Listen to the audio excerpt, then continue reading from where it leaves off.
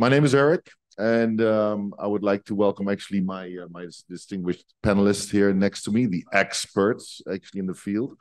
So I'll give them a quick uh, quick minute to introduce themselves, and then we'll go into um, into the um, into a presentation from uh, both the ladies from Enxoo, by the way, who's sponsoring this session, and thank you very much for that, Enxoo. So I'll give a quick word to. Um, let's start with uh, Magdalena. A quick word of introduction, please. Okay. Uh, good morning. My name is Magdalena, and I'm a solution engineer at Enxoo. Thank you, Eva. Um, hi, my name is Eva, uh, and I'm the head of sales at Enxoo. Okay. Pablo. Thank you. Good morning, everyone. Uh, Pablo Mlicota. I'm responsible for both the roaming and international mobility services, EN Group. Okay, thank you. And then on my left, on your right, Honorable Salim. Yeah. Good morning, everyone. My name is Salim Mazroui. I'm the Director of Operations and Technology in Zoe. Thank you. And last but not least, Maxime. Yeah, I'm Maxime, Maxime Akin. I'm uh, working for a silicon company responsible for international carriers. Thank you. And we heard you um, this morning already in the in the first session. So thank you so much. Anyway, um, let's move on. We have a very, very, very tight, uh, strict plan actually. It, uh, there, there is a count that says 43 minutes. Uh-uh. 12.30 is lunch, and I will, I will get you to your lunch on time. So if I may invite um, uh, uh, the ladies Eva and Magdalena kindly to do their and start their presentation. Okay, so take it away. It's yours. Take it away. Thank you. Thank you so much, Eric. Thank you for everyone being here, trying to uh, be not too blinded by the lights. But before we start off, uh, I wanted to have a little bit of a show of hands and ask you who here has nightmares? Nightmares are dreams that wake you up at night, that you're falling down or you're woken up by a clown. Me personally, I have a nightmare that in a couple of days I'll be going back to Poland out of this beautiful weather and I'll be frozen to death uh, at the airport. But uh, if you don't want to share your nightmares, if you don't want a show of hands, I know Eric, you should be uh, up there, Gabriella. Thank you. Uh, you. you. have you have nightmares.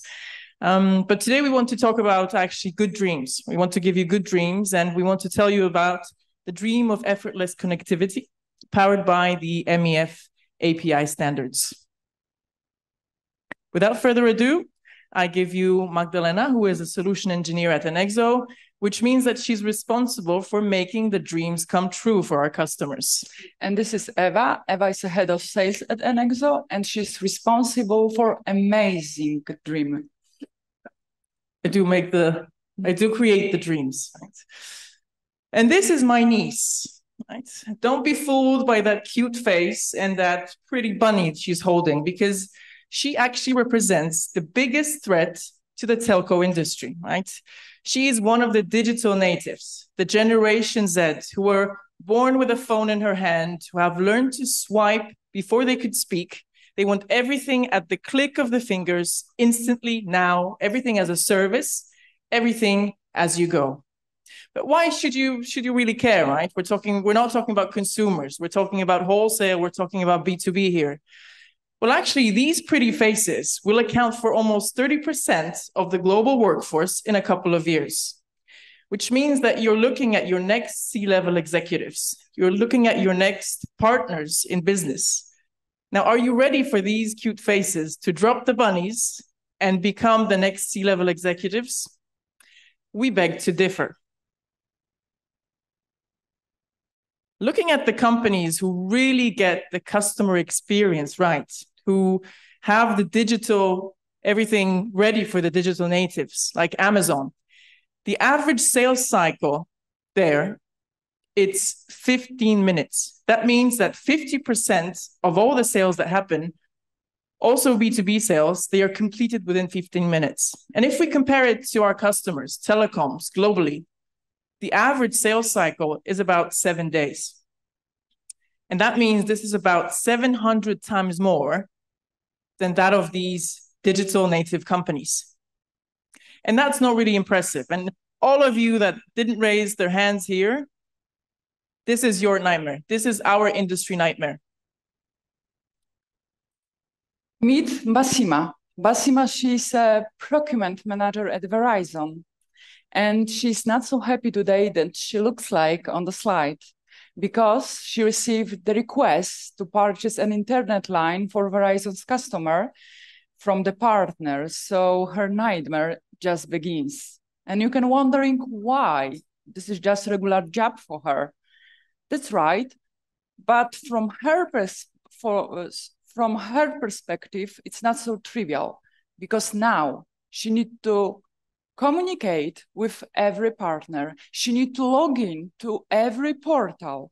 Some of them even don't have any portal. And then she will try to go through the processes without getting lost and making mistakes. And this is the bigger challenge for her. Her nightmare is huge, and she even can't imagine when she will finish this task. And meet Fatima. She's on the other side of the nightmare. She has received the request from Basima. She's an account manager at Connectify X, which represents uh, a lot of the account managers here, right? And her nightmare is that she's racing with all of her competitors, right? She knows she has to deliver to Basima really fast, but at the same time, she's being held back by her internal systems, by the Excel files, by the emails, by running around the company, actually making sure that the service that is ordered is feasible, is doable in that exact configuration. And she shares that nightmare on the other side. But let's help these women have a good dream. So let's put them to sleep and let them have a nice dream. And they share a dream. They share a dream of effortless connectivity between each other. Let's help them transact in less uh, than 15 minutes. So we'll show you the process from the address validation uh, all the way through the product order, and we'll make it happen in 15 minutes. So be ready. We're putting the girls to sleep now. Focus on the screen, please. What, see what Basima is doing right now. She's entering the address of the customer location. Everything is okay here.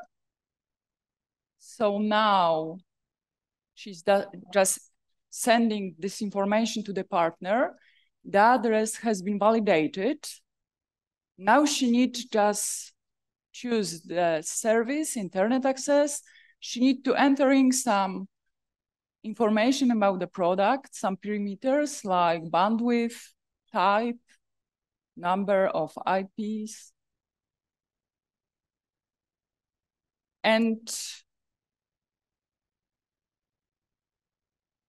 now she's sending this information to the partner. It took like one minute. Now she got information that the product offering qualification is done and it's ready. So it means that she can buy this service. Now she need just add some additional information like contract length, sending this information to the partner,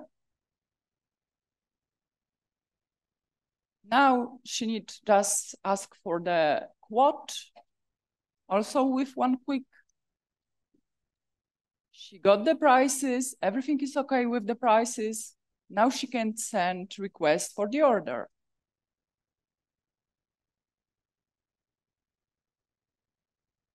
The order has been sent to the processing.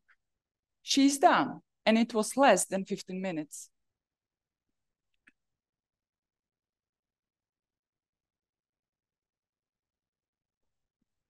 I think it was a lot less than 15 minutes. But on the other side, we have Fatima, who has who's been on the other side of of uh, of the order the entire time.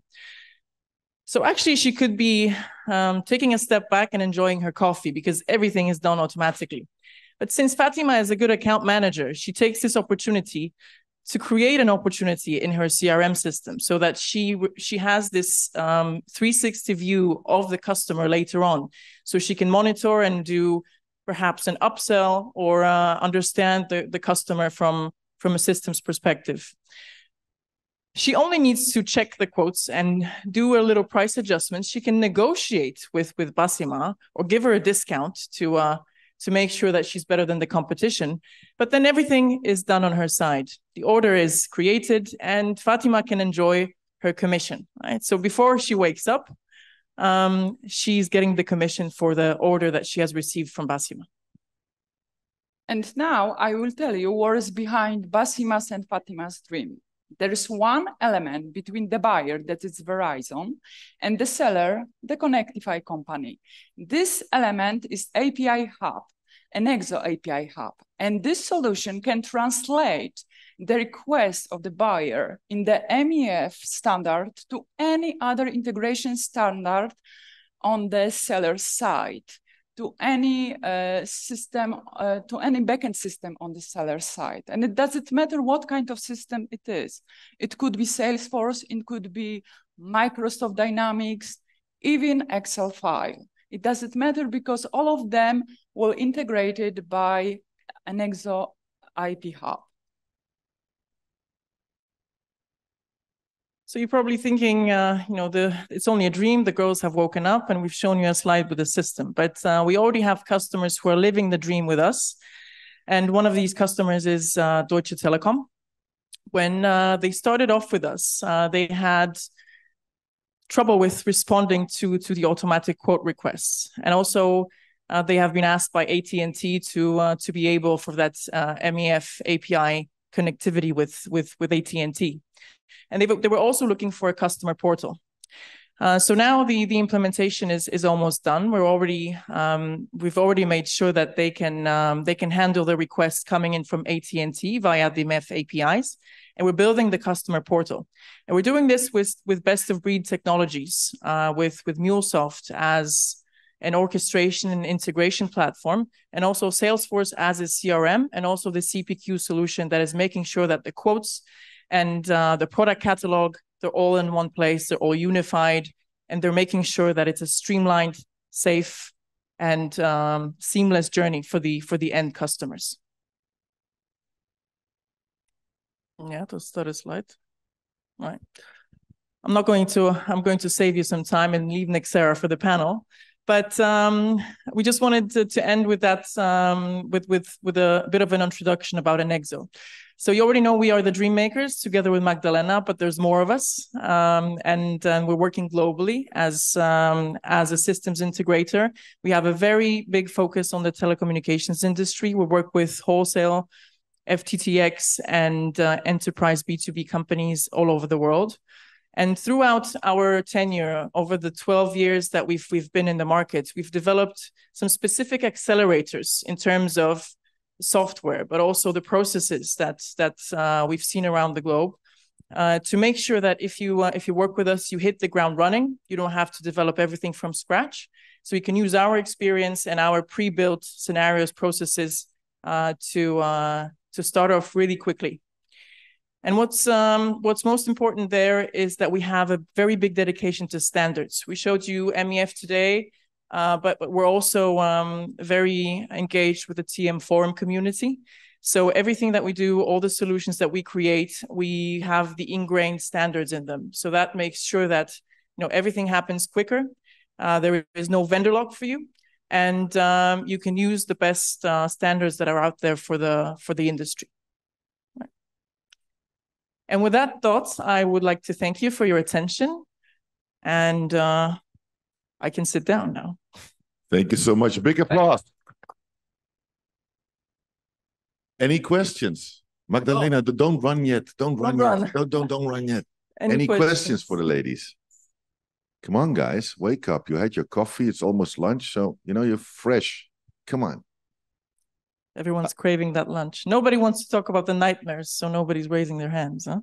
And with that note, I would like to uh, to thank again Enxoo for uh, for the this uh, and Eva and um, and Magdalena for this uh, this presentation. So thank you so much. And let's move in because um, um uh, we're talking about transformation, but you're providing dreams, right? Every so day. how is it talking about a success story?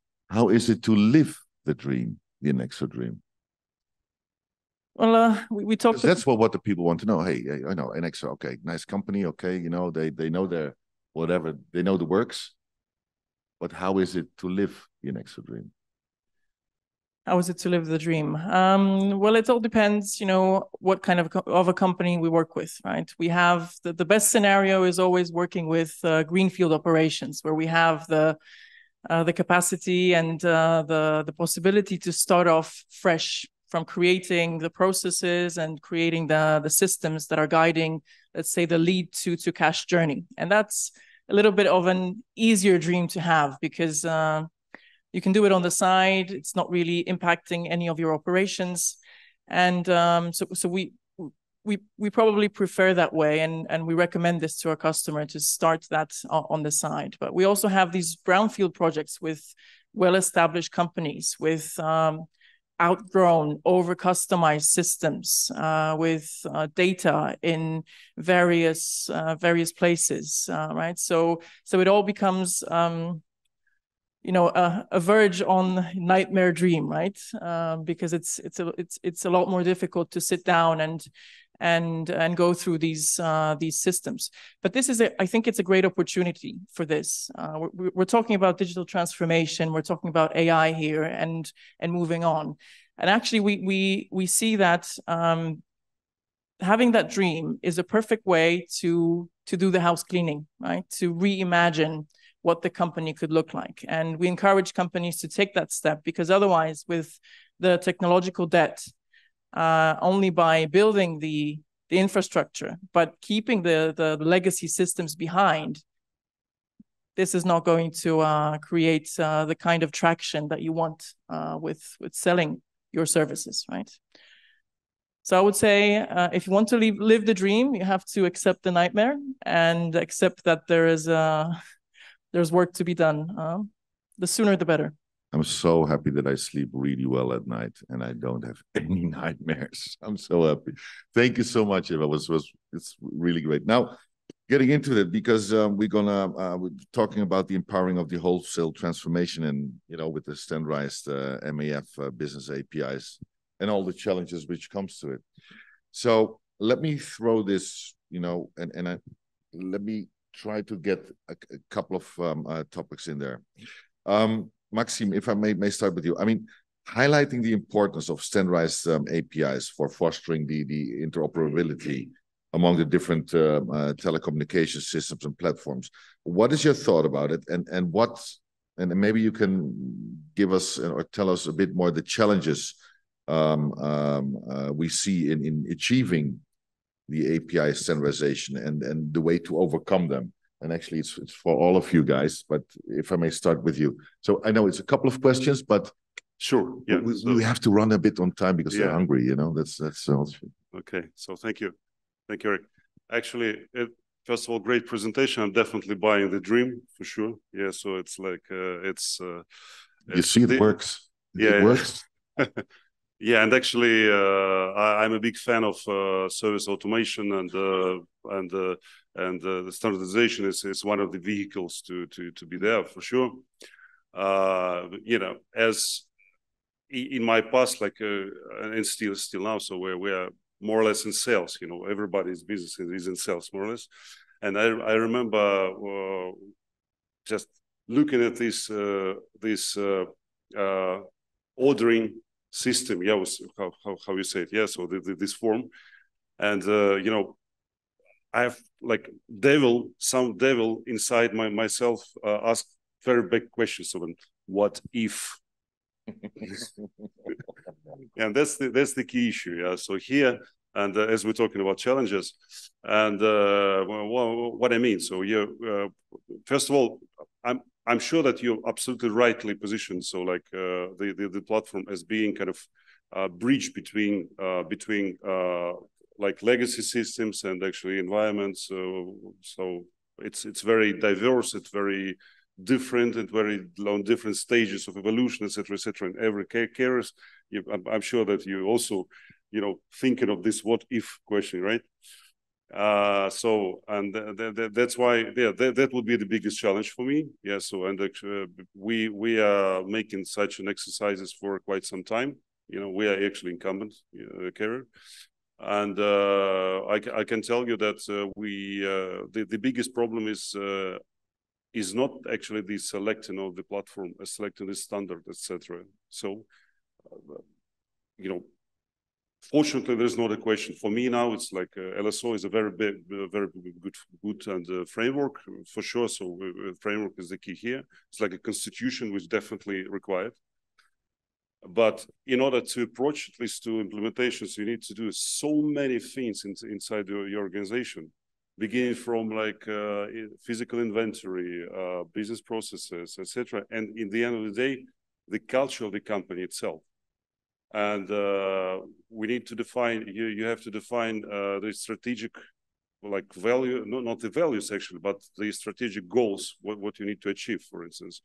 Do you need, let's say, uh, to reduce uh, from seven uh, the circular sales cycle from seven days to one day?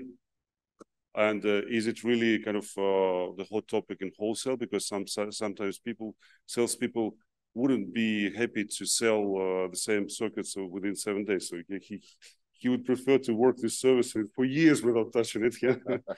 but okay, so it's like a lot of lot of uh, these small things which goes much deeper into the organizational culture and the environment and business environment of, of each company. And that, that for me would be the, the biggest challenge. And finally, so we have touched already uh, on the first sessions, the, uh, of course, on the little bit different scale and different uh, topic, but actually similar things of uh, cooperation between the companies. And on previous session, we, we were talking about the cooperation of the network level, on structure level, et cetera, et cetera, all this stuff, regulation.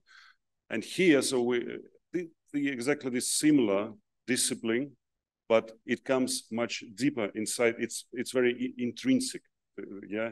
And when it comes to intrinsic uh, normalization between companies, that actually comes down to even DNA of the organization. That's that's the biggest challenge, I think, because sometimes you say, okay, yeah, like like the the idea, the technical solution is ideal. Okay, so let's go for it.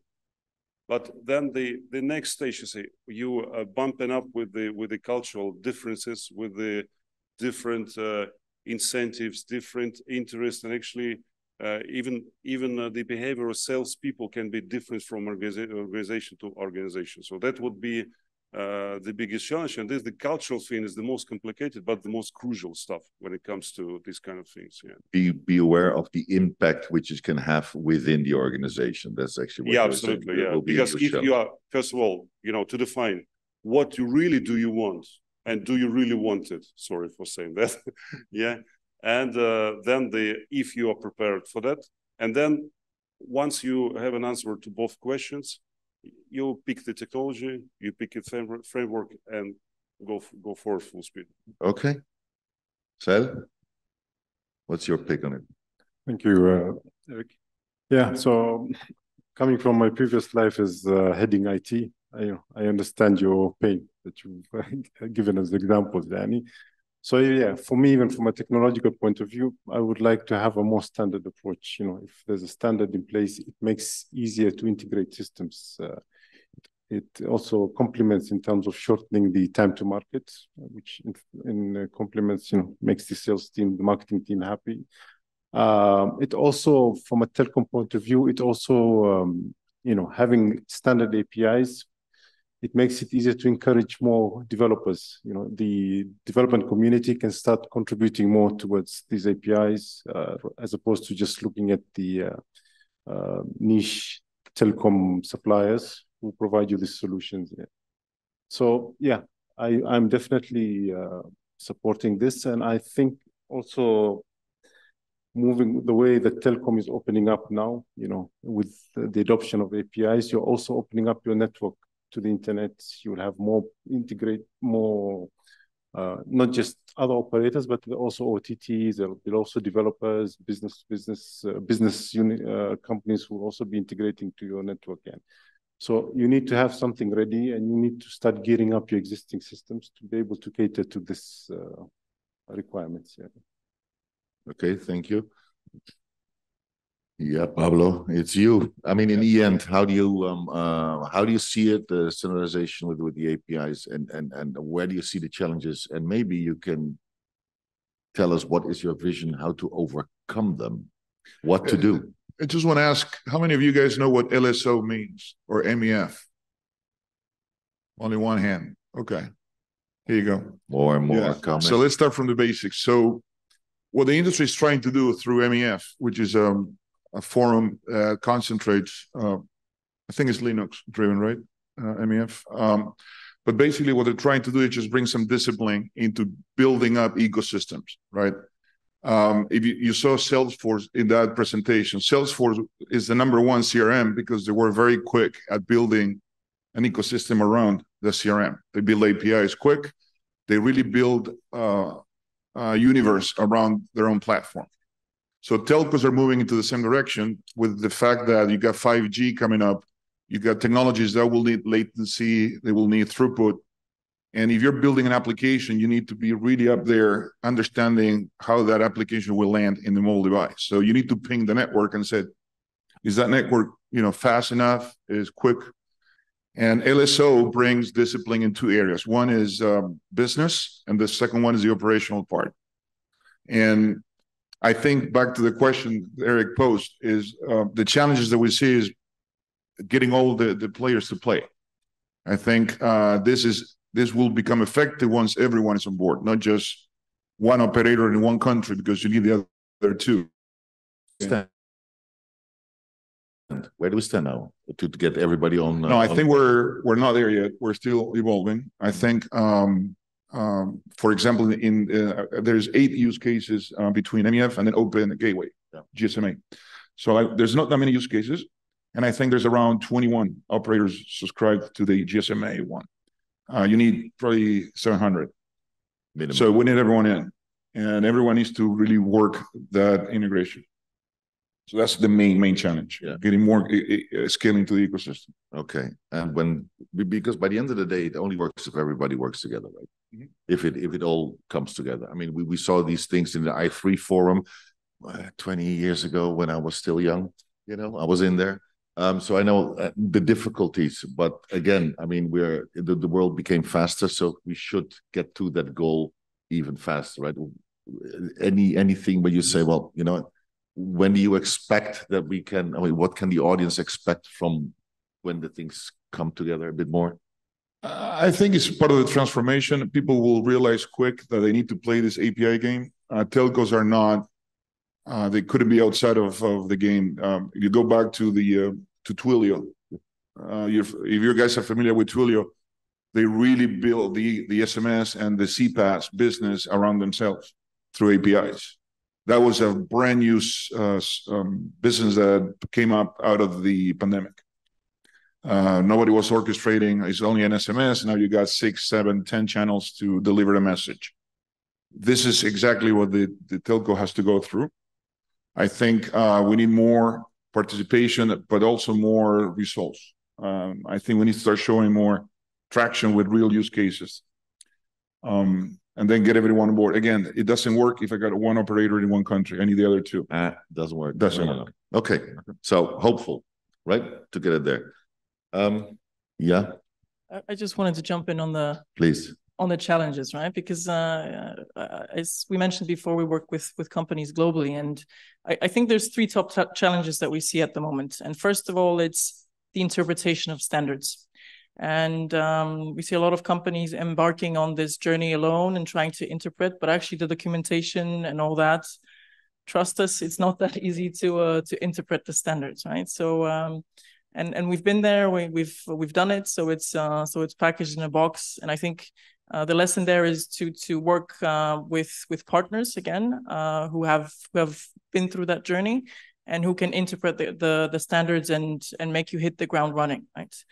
Um, the second challenge I see is still, and this is on point with with what Pablo mentioned. It's the companies are not really pulling in yet.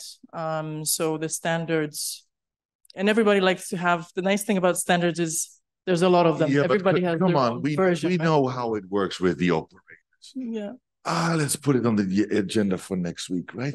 yeah, exactly. Or But the uh, week after. Oh no, then we have to plan for uh, the holidays. No, yeah. come on, guys, move, because the world is going faster. Don't miss it. Move.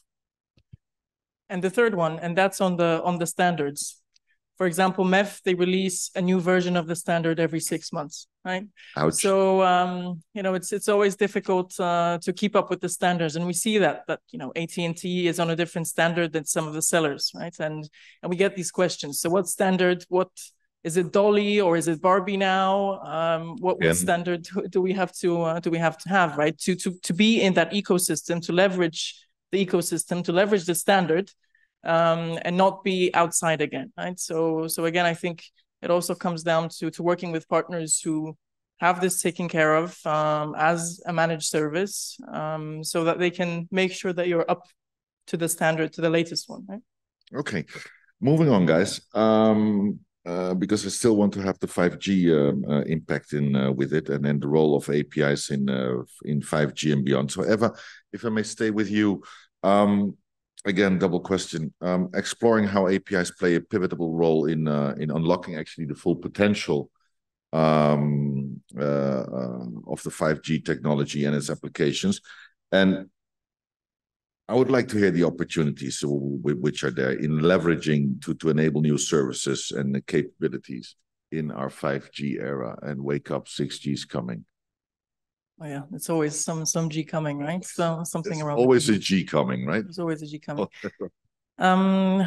Well, again, from our perspective, I see I see two things, right? With 5G, we have the ability to have um, to have slicing, right? And um, the APIs are needed uh, to be able to manage that, that slicing efficiently, right? Uh, when we're talking about applications like autonomous vehicles or uh, or augmented reality, virtual reality, where where that bandwidth and where that low latency play a role, it's crucial that these APIs, uh, standardized APIs, they come into picture so they make sure that there is that real time communication between uh, the devices between uh, you know the the the network right? self-service portals. Self-service portals right? Um, and and the other one is connected with iot again 5g is bringing uh, in the promise of you know managing the millions or not even uh, not even that but huge numbers of, of iot devices. Again APIs, they have to manage these devices, make them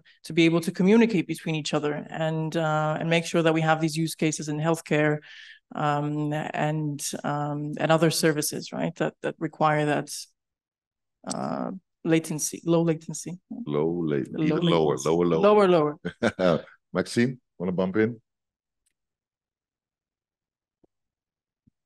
How can the um, um, uh, how can the APIs play a pivot role in uh, in unlocking the full potential? Where do you see it?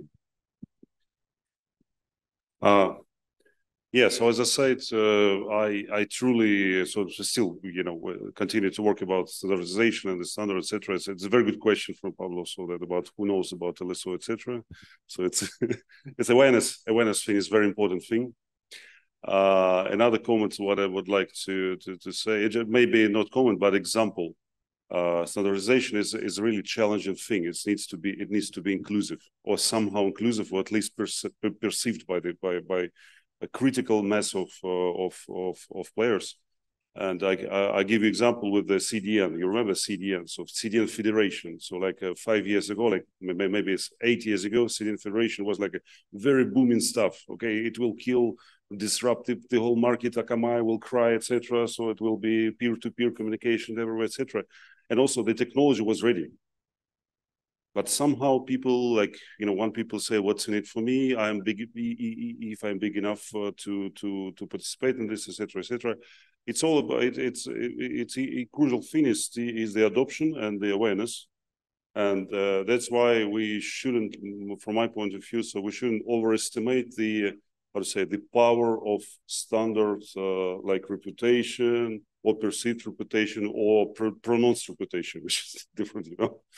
So that's why uh, yeah so like uh, again so it's uh, it's a back to back to my my thought about uh, about the the, the culture itself. And uh, yeah it needs to be needs to be attractive needs to be like like easy to use. And the the, the project like like yours uh, uh, uh and integrators like like like, like yourself so it's, it's it's a great uh, great great thing to have and definitely thanks to you and thanks to efforts it, it, it, definitely has a chance to be yeah to be promoted. Eric, if I can um, just interject one thing. Sure. Uh, That's why you're here. just work here. That's why So you're no. I- you bring a good point because the um, you're catering to a different customer now. The the the person or the entity that was going to buy services from you is the developer now. And developers has they're very unique the way they buy services. They don't buy SMS in bulk. They they buy an API to an SMS engine or an SDK in an app that will fulfill another type of service. We're not ready for that. We're not ready to serve that community, that development community as a telco. This what brings is that type of uh, interfacing with them. But we're mutating. We're as a telco, we're not offering that voice, that SMS, that data channel the way we used to do it is through this. And if you're not ready for to do that, you're gonna miss that opportunity. People will find over the top different ways to do it. So it is a call to action, as you said, fast. Because we're missing the boat. Completely agree. Yeah. So uh, again, so it's also about this DNA. So the intersection of DNA fields, etc. If there are there are like two operators similar to each other, but you you but you have to find some some some pinpoints to connect uh, in terms of like culture, DNA, perception, etc. All right, talking about um, the operators and the carriers, um, Salim, um, what I want to know from the whole round actually, um, I mean, how can APIs actually empower carriers to deliver superior customer uh, experience and and and and drive the innovation? I mean, we just discussed that they have to move, right? They have to move, but let's assume they are moving, okay? So how can APIs um, uh, empower new services and, and information, innovation? So assuming you have, you know, you have the developers on board that they're uh, utilizing the Get them. The APIs, and then uh, you know the network is open for uh, to provide services. You know the, the use cases. There are various use cases you can accommodate. You can do um, customized solutions, customized services. Uh, omni-channel uh, you know you can open up your your platform to different ott providers that they can even use uh, it doesn't necessarily have to be provided from one OTT. For example, you can provide the same services uh, using the OTT's uh, APIs. So the these the use cases are there.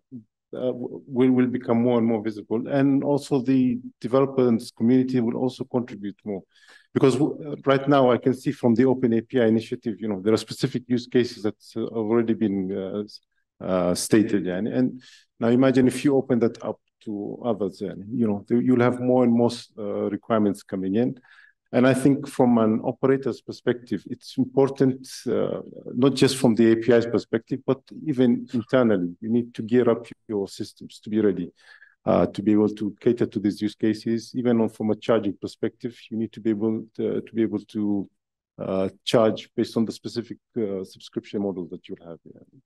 Okay. You want to bump in here, Pablo?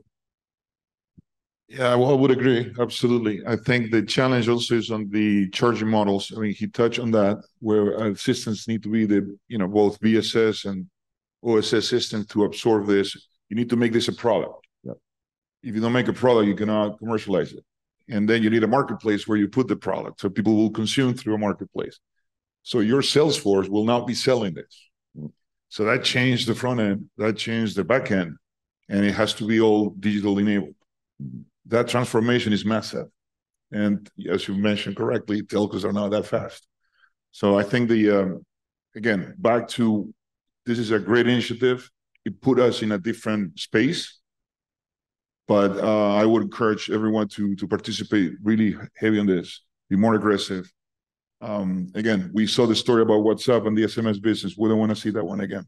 Wake up. Right?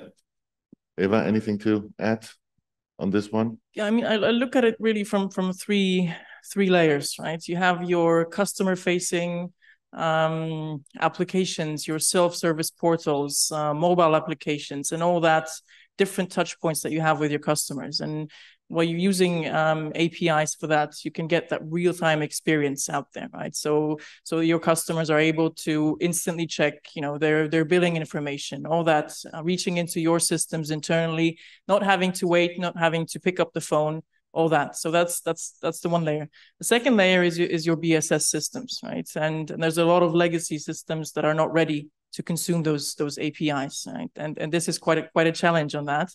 But again, imagining that you can have um, everything integrated, right, from your network layer to the BSS to the customer exposed um, applications, that creates an, an amazing opportunity to uh, to not allow these um, WhatsApps to to happen again uh, to you, but really leveraging you know um, all your systems, all that automation uh, to to deliver that extremely enhanced customer experience, right? Absolutely. Okay, guys, quick closing statement. What should we look out for? I mean, I'm not asking for a crystal ball, but what should we look out for, or what is the message you would like to give uh, to the audience? Maxime, if I may start with you. Actually, I will finish with uh, the same message as uh, with I, I, was beginning with. Is it's uh, it's all about the culture uh, and DNA of uh, the organization, and from practical point of view, of course, the dream of like of the of the commercial people when when you have like a very like a lot of lot of legacy systems uh, just to nuke them all and uh, create a completely new one. Yeah, that, that was the dream. Unfortunately, it's not always possible. That's why you know we need to take like balanced approach in uh, normalizing our first of all our internal uh, infrastructures including IT infrastructures and then to be prepared for this one. Having uh, API and LSO standards as a as a framework as a constitution if you will. So and I strongly believe uh, believer that this is for sure the way forward. Okay thank you. Salim yeah, so I think uh, the, the talk about the, the, the, initiative about open API is something that I'm also encouraging other operators. Uh, we as Omantel are also uh, gearing up to get on board. Uh, it's something that we see value and it's it will benefit in terms of for the industry perspective. So yeah, we need to start moving into that direction rather than having a closed network and doing the traditional way of uh, you know doing ad hoc integrations basically. Thank you, Pablo. I would um, encourage. I mean, EN is going through a transformation right now from telco to telco, so we're putting that in every single outlet to signal the market that we're getting there. Um, I believe 5G gives us an opportunity. is a very unique opportunity to to control and be more relevant in the ecosystem because we we can enable significant new business from IoT, drone management, gaming. Uh, if we do this right on 5G, that will be the launching pad for the future. Okay. Famous last words, uh, Eva. Famous last words. We, we've shown you the dream today, and uh, my closing remark is that uh, we turn that dream into reality and and appreciate that APIs they really drive innovation. And uh, if we're talking about all that innovation through these uh, sessions, um, APIs and integrating different amazing technologies, different pieces into our infrastructure, making that uh, seamless across the board, across all the layers, that's going to uh, be an amazing thing. So uh, I encourage you to follow the dream and um, not wake up too fast. Thank you so much. And with those uh, words, um, I would like to uh, thank my panelists, of course, Eva, Magdalena, thank you so much for your presentation as well. Pablo, Salim, of course, and, and Maxime, and you. And um, no time for questions. Uh-uh, uh-uh. We will not do that because you're hungry. Now it's lunch. But I would like to see you after lunch because we have more sessions to to to, to come up, talking about messaging and the platforms and talking about data centers and submarine cables. So a lot to discuss, a lot to listen to, and a lot to learn from, I hope. So I would like to thank you so much. And now enjoy. Pick up your fork and eat. Come on, have lunch. Thank you.